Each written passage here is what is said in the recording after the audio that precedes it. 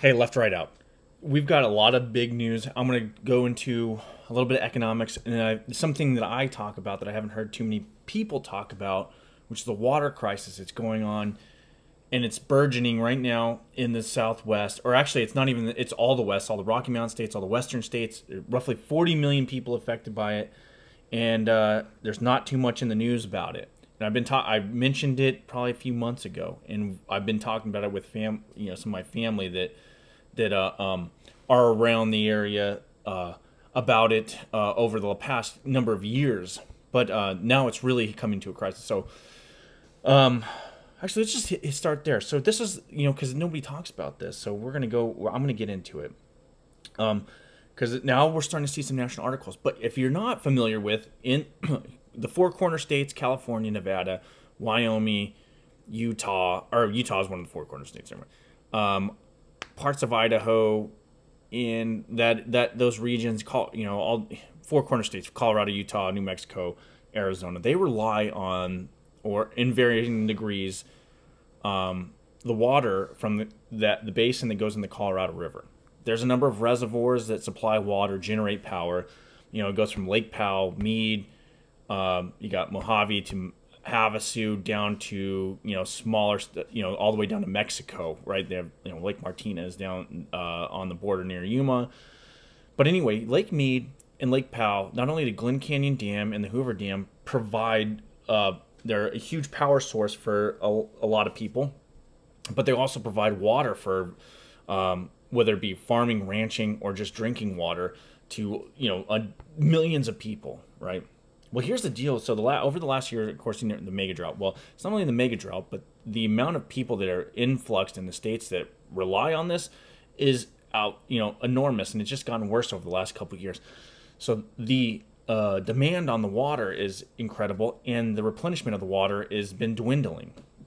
So you have places like Lake Powell right now that are lowest they've ever been. Lake Mead, the lowest it's ever been. Since, I mean, since they filled these things, since they've put the dams in, and um, and I've been talking about it because well, I fish a lot, and I, I am intimate with these reservoirs, um, and I've lived in the Rocky Mountain states um, majority of my life outside of uh, some Marine Corps, and then what I'm doing right now.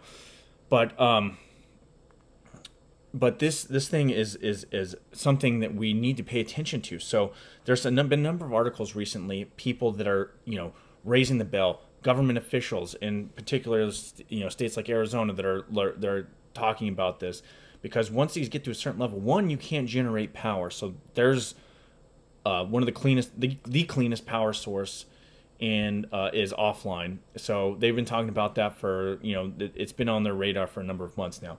To the water uh, the water demand on there, we're getting to the point where we're accessing pump stations. So if you're not familiar, there's different ways they pump water out of the reservoir. There's an uh, you know usually have multiple different pump systems. One's for like a higher level water, then they have like a I don't know.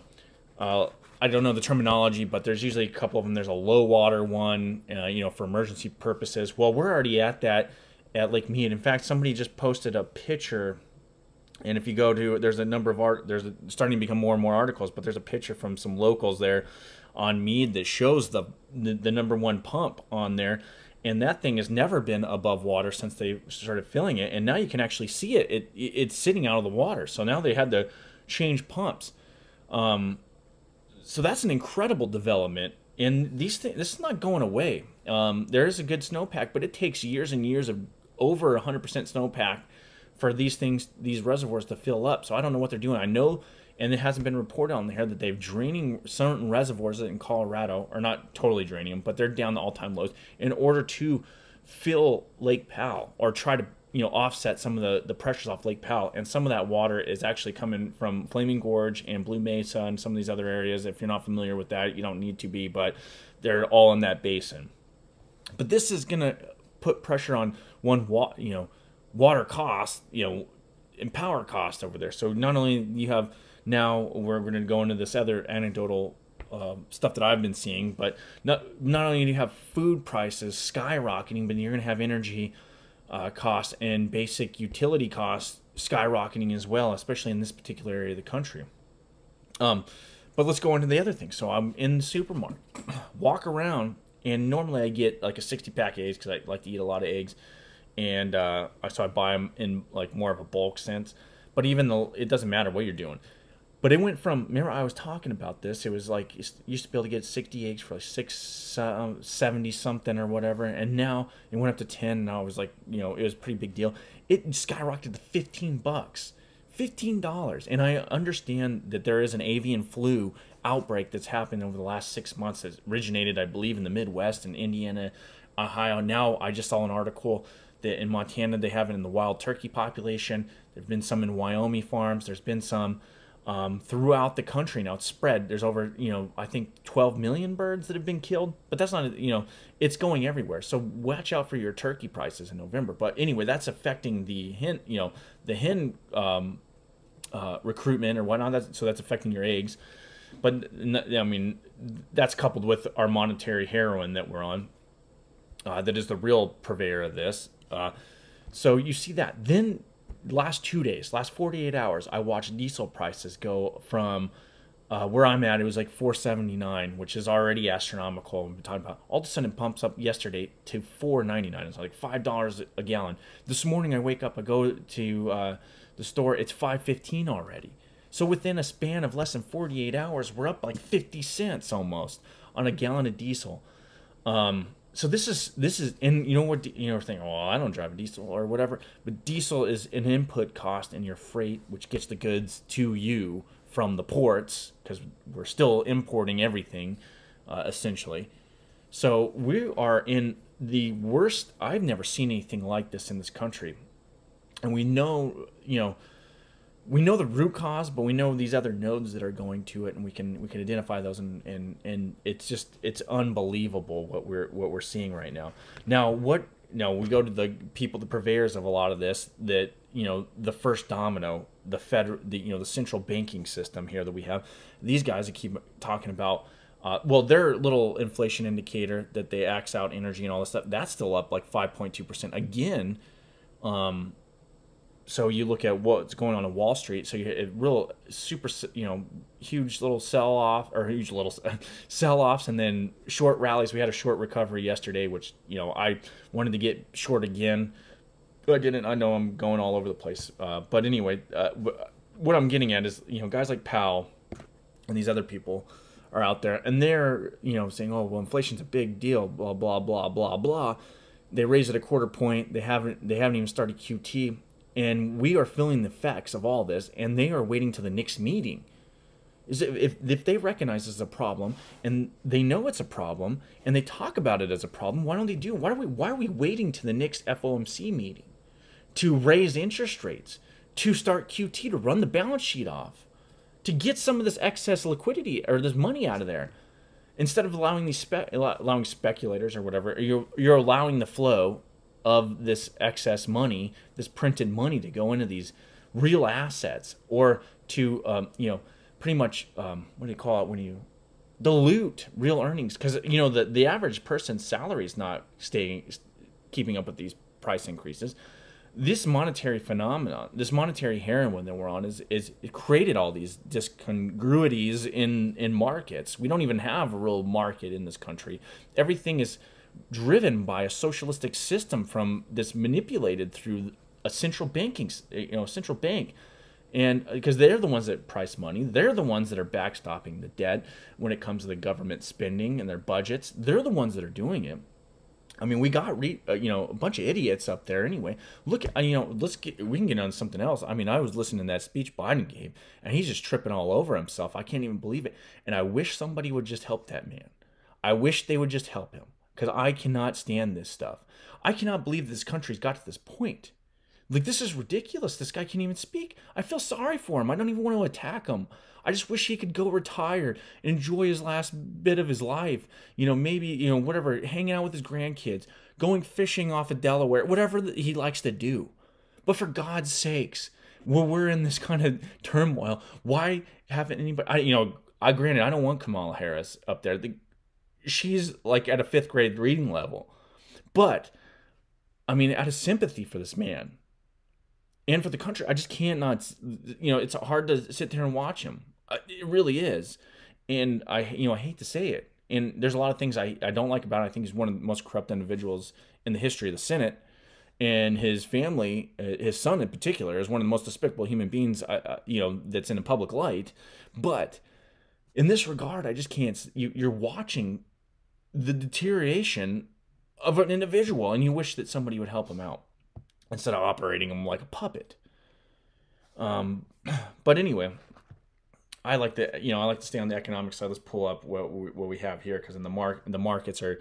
Um, I've been playing. I'm pretty. I, I kind of get lucky, but I've been operating off the short side. That's the only reason I'm still able to make a living, because a little bit of money that I have in the market that I've been playing on the short side has really paid off. And then I wish I'd have got short yesterday because remember I told you I took some profits because I was looking for that short that short covering rally that we got yesterday, but I was doing something else. I couldn't get back in. Um, so that was that sucked for me, but uh, but I still have some shorts. I still have some volatility, and it's been paying off fairly well. And in fact, I might uh, I want to hold on. I kind of want to roll my short options, or they're uh, they're not shorts. They're not real shorts like you would in the market. Go borrow shares. They're options that are um, um, counter or inversely correlated to the S&P 500 and also correlated to volatility. So I've got those and I'm going to roll some of them over uh, to uh, further out dated months because once we, I mean, I don't know what's going to happen when if we actually get some um, QT or whatnot. I don't know what the Fed's going to do because oh, that's the other thing. GDP number came in 1.2 percent uh, in the negative, and, and of course we know that number's you know highly manipulated because you got a you got a deflator in there, which is based off of you know their malfeasance and in mathematics uh, of uh, of calculating uh, price price increases. Uh, with hedonics and all this other jazz. That's the other thing. So we don't even when we look at these price increases. I know I'm jumping all over the place, but this is this is this is important. So if you look at these price increases that you see at the store, right? Now over the years we haven't really noticed it, but we have noticed that you know shrinkflation, what they call it, or uh, quality de- degradation. That is a form of inflation too. So you go and you're getting whatever half an ounce less of chips or whatever for the same price. You know that's you know significant, but you don't really pay attention to that. Or you go and the quality your of whatever you get is down a little bit, which I noticed that over the years. It's like you buy something, the thing breaks like you you know pretty easy, but um, but you're paying the same price for what we used to get high quality. I mean, it's hard to because you're like the frog in the boiling pot to really see it. But now we're seeing the punctuated event of uh, of inflation, the real symptoms of it, real price increases, not just on the capital side, but in the consumer prices, and it's really affecting people. And um, I mean, even if you sweep. Like people, oh, I had somebody. I was talking to somebody about this, and they're like, "Oh, we'll get you know the Senate and the Congress next next to Trump. I was like, that's not going to do it, man. These guys are inept too. There's only a handful of guys that really understand the economic economics and any a consequence that are up there. I can name them on the on my fingers of my hand. Um, but either way, they you know it will be a little bit better, but uh, um, but it's not going to change anything. We you know not only do they not understand the problem, and will they actually rein it? And I doubt it. But they don't even most of these people don't even realize that a lot of the times the monetary policies they're you know they don't understand monetary policy to begin with but the monetary effects of decisions made through monetary policy are typically not typically not uh, uh, felt within the you know when they're initially made. They're usually one to two quarters you know um, early. I mean you feel them one to two quarters down the line. But um, so i don't know you know you have to have a severe we need a res- severe recession. We need them to do something. We need them to get into neutral rate. But anyway, I was I know I, I jumped all over the place because I felt like that was a shrinkflation, quality degradation uh, is something to, that needs to be talked about because we've been seeing that over the years, and um, we've lived in an era where we've had inflation ever since the 70s, pretty much, and we've been able to export it or oversupply to uh, nullify the effects the symptoms of price but now we can't do that right now. We're seeing the breakdown of this import system. You have china locking down. You have the russia ukraine war that's really affecting it's it's creating a, a bifurcation in the world of trade. And th- that always baffles me or that has been baffling we're going to keep supplying ukraine with arms for I mean, I know it initially and what you've been propagandized is that hey, that's a great thing, right? That's gonna we're we're gonna fight the Ru- we're gonna help them fight the Russians. We're gonna do this. Well, you're prolonging the war. You're causing more death and destruction instead of what we should be doing as the leaders of the free world, or was the free world at one time, the ideal of the free world. We should be setting them down and ta- and and inking out an agreement in this thing now get peace back on the table and get back to where we can um, have a little more stable global economic system. Another news uh, with that regard Russia has come out with the intent to back the ruble. This is big deal. This is a big deal. Let me see if I can pull the article up if I didn't lose it already. But this is this is a big deal for Russia and over there, I mean, despite what our media has been telling you, it's not that bad for them. Like maybe they can't get a few things that they imported from us, but like the gas prices, the basic general, you know, getting by stuff is the prices have actually decreased in some instances. Uh, but you got the Kremlin confirms intentions to back ruble with golden commodities. That's what we should be doing. Why the hell aren't we doing it? The petrodollar is falling apart. It was like a pseudo backing of our, our, our currency that's falling apart. We've put this wedge in with these sorority girls that are running the government, and they're really screwing us all over.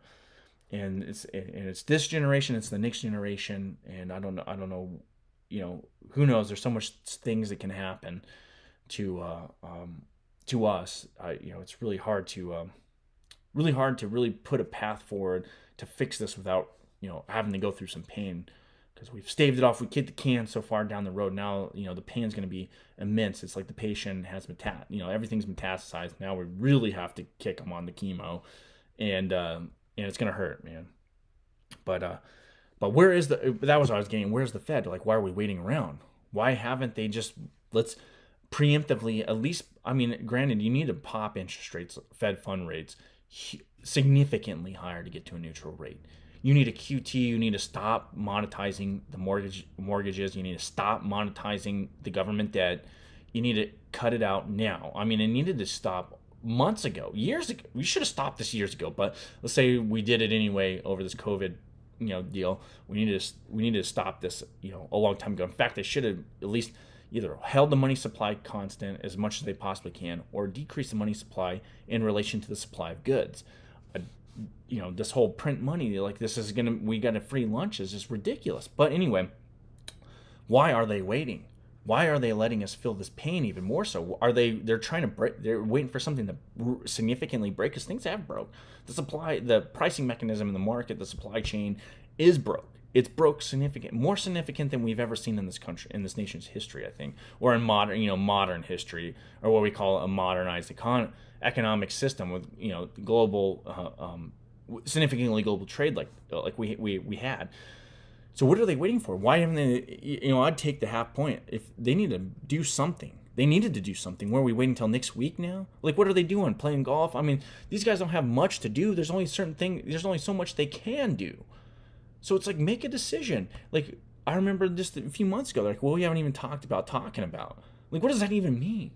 We're over here in the real world, um, you know, having to strap, you know, here's the other thing. So, you know, it might be an excuse for them to reverse sooner than they're already going to reverse their uh, supposed QT, you know, because the CPI, you know, it measures certain things, but here's what's going to happen. So as, you know, prices continue rising, um, people aren't going to be buying, you know, they're going to strap their boots, they're going to cut out excess. So you're going to have certain prices that are going to be, you know, either stable or maybe even decrease at times like certain services. But you're going to have like commodity, real resources, real things of need are going to continue to go up if nothing's done about it. And that's just because people with a finite amount of money, even though there's you know a lot of money, they're going to have to select what they they they, they spend their money because their wages aren't aren't keeping up with this. But anyway, I'm to leave it there because we're almost 20 minutes. I keep this under 20 minutes. Uh, like, subscribe. I appreciate it. Talk to you later.